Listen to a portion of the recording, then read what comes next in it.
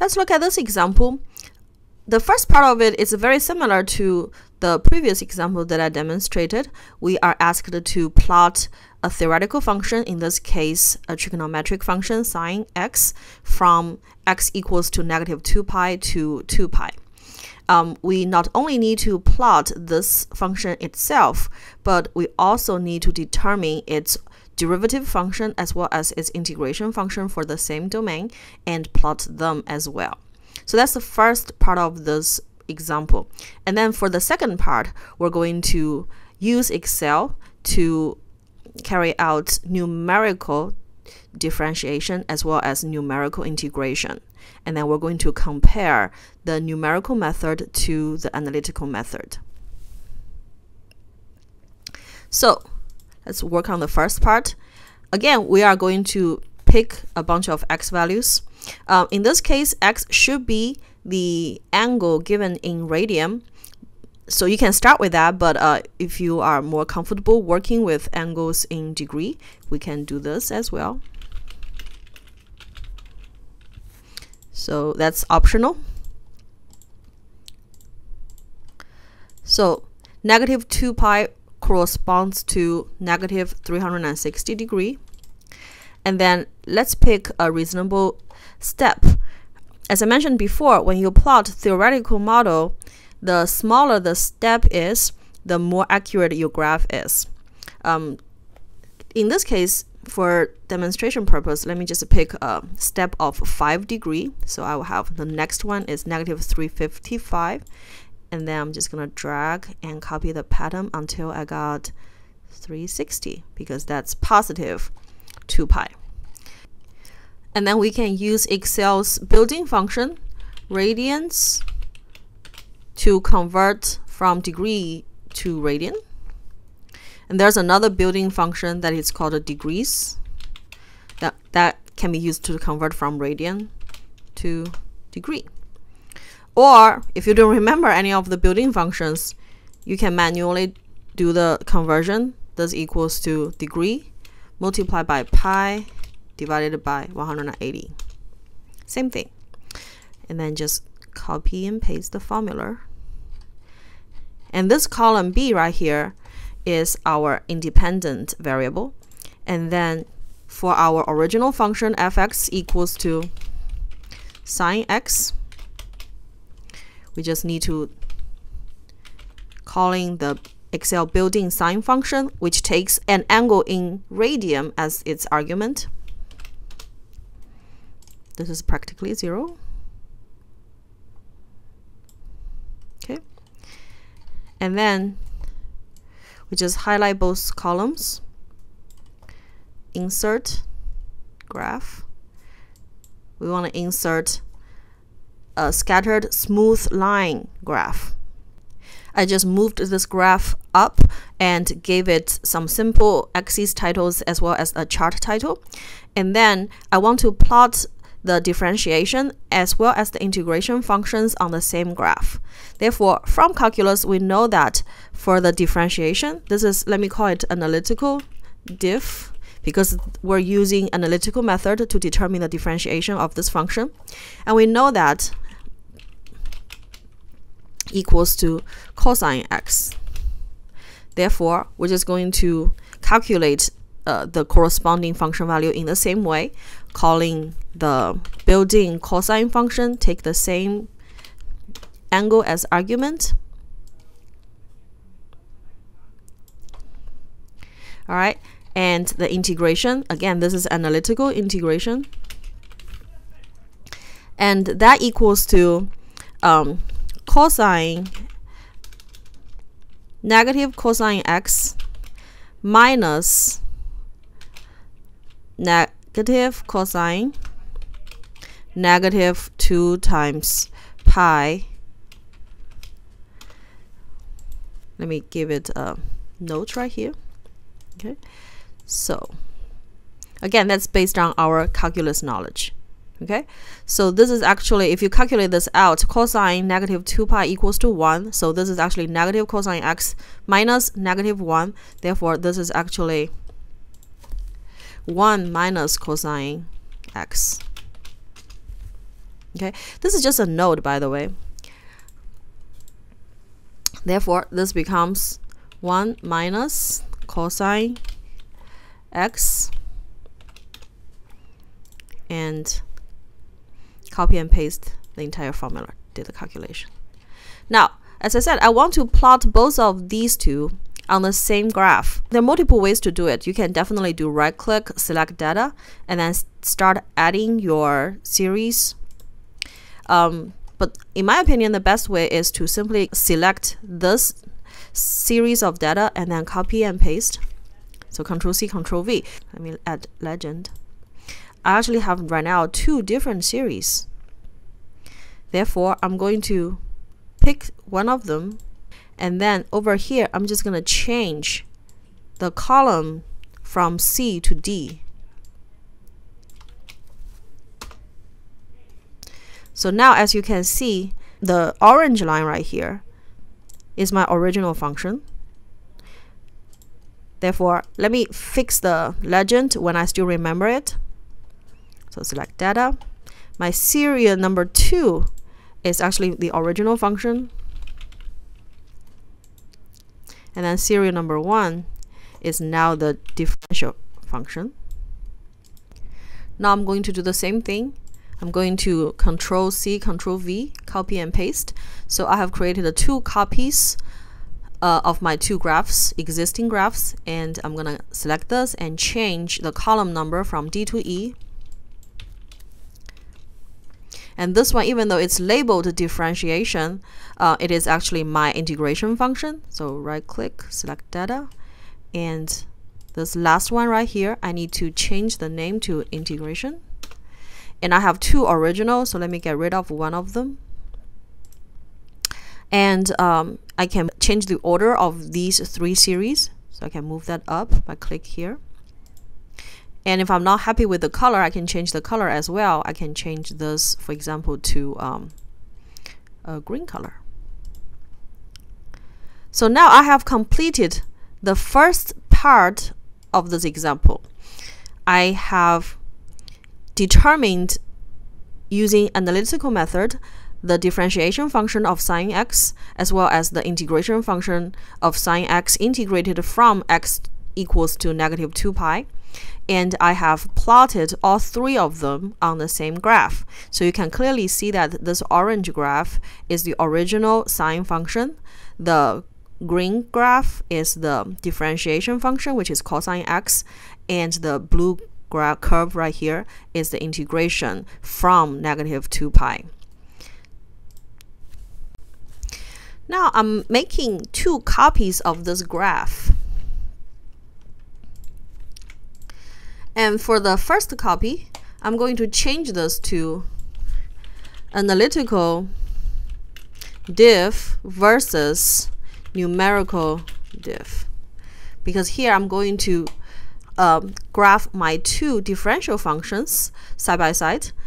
So from here, I'm going to delete this graph right here, and I'm going to delete this graph right here. So I'm only keeping the analytical differential uh, function that we determined earlier. And the next one, I'm going to call it the analytical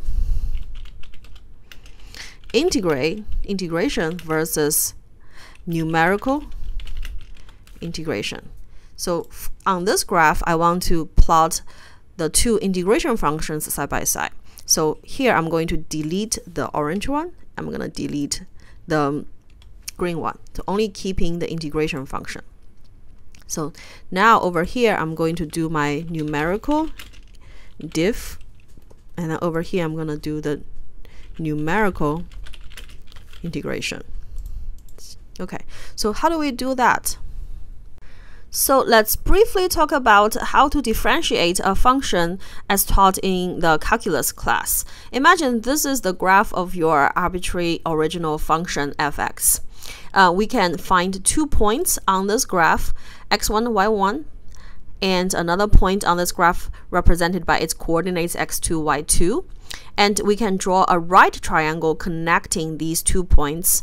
And this vertical side right here is delta y, that is the change in the uh, y coordinates of the two points. And this horizontal side right here is delta x, which equals to x2 minus x1.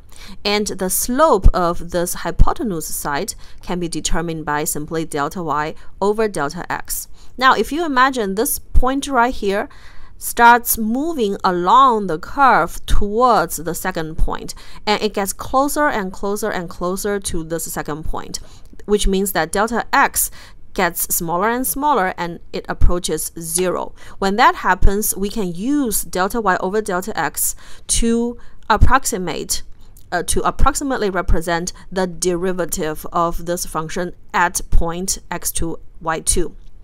Um, and that's exactly what we're going to do. And that's what we meant by the numerical differentiation. Now, you might argue, how come we don't use this to represent, to approximate the derivative at point x1, y1, or a point, say, in the middle right here? Um, you could choose to do that. However, it really does not matter when the step we choose gets smaller and smaller.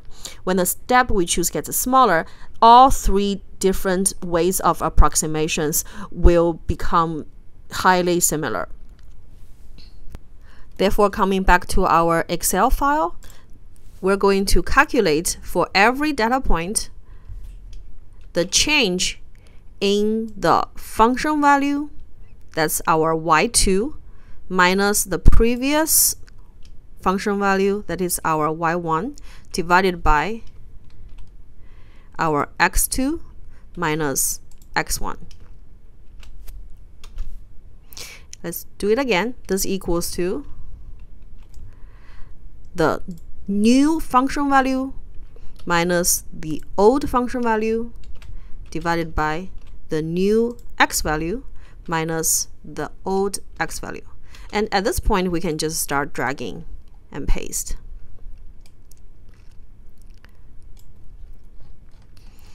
and we're going to graph our H column on this graph. So I'm going to basically just copy and paste. And then because I want to keep the color for our analytical one, therefore let me go over here. And this one right here, I'm not going to change it, but I'm going to change the title to be analytical. For the second one, I do want to change. I want to change the D to H and I want to change the legend, the name of the series to numerical differentiation. And then let me change the color of this series. This is the series of numerical integration.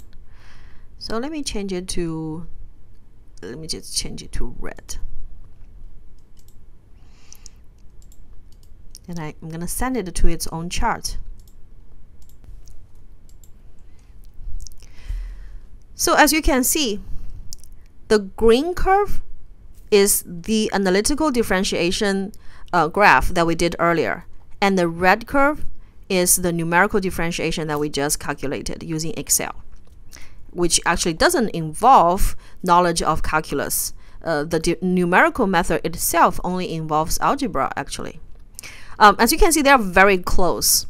Uh, they can be even closer when you change the step size. Remember, I choose a step size of 5 degree. So if you change that, if you make it smaller, make it 1 degree, give it a try, you will see that this numerical um, approximation is going to get even closer to the our analytical uh, differential differentiation plot. So that shows you this alternative option to do differentiation. So you have learned analytical differentiation in calculus, but now you have learned the numerical differentiation method using Excel. And it would generate very satisfactory results, very close approximation to the um, analytical method. Now let's briefly talk about how to do numerical integration in Excel. So from calculus, we learned that the, to integrate a function is to find the area under the curve. Um, for this portion above the x-axis, the area is positive, and for this portion below the x-axis, the area is negative. So if we want to integrate between these two limits from x1 to x2, so basically we need to find this total area. And to do that, we can uh, divided into small strips. And if we can determine the area of each strip and then add them together, that will be the total area under the curve.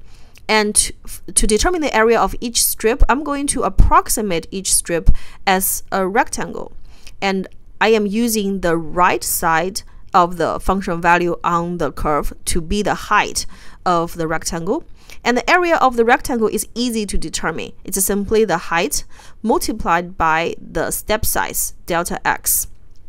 And I do all the calculation, add them all together, and I'm going to use that sum to approximate the total area of this curve. So you can easily tell that the smaller the step I choose, the better approximation result I will get.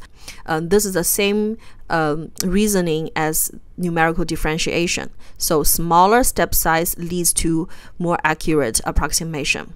And also, when I pick this point to be the height of the rectangle, this is called the right-sided Riemann sum method. You can also use the left-sided Riemann sum by picking this one to represent the height of the rectangle, or you can use the trapezoid method, basically approximate each strip as a trapezoid instead of a rectangle. However, don't forget, when the step size gets smaller, all these methods will essentially give the same approximation. Okay, coming back to Excel. The first value here will be 0 because at the lower integration limit, if we're talking about the area under the curve, there's no area, therefore the integration value is 0 at this point. And then for the next one, as I said, I'm going to use the right side function value to be the height of my rectangle, remember that? And that height multiplied by delta x, so the change in the x value, that's the width of my rectangle, that's the area of one strip plus the previous one, and that is the numerical uh, integrated value at the next data point.